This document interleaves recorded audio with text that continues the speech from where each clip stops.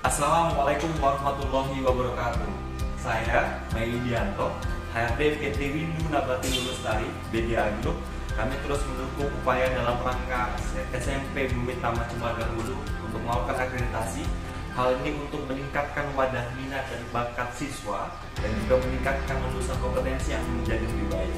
Kami juga terus upaya dalam rangka meningkatkan perbaikan standar pembelajaran, standar kritik dan juga standar dan kapasitas yang ada. Kami terus mendukung upaya tersebut dalam rangka memberikan perbaikan yang lebih baik untuk siswa. Terima kasih.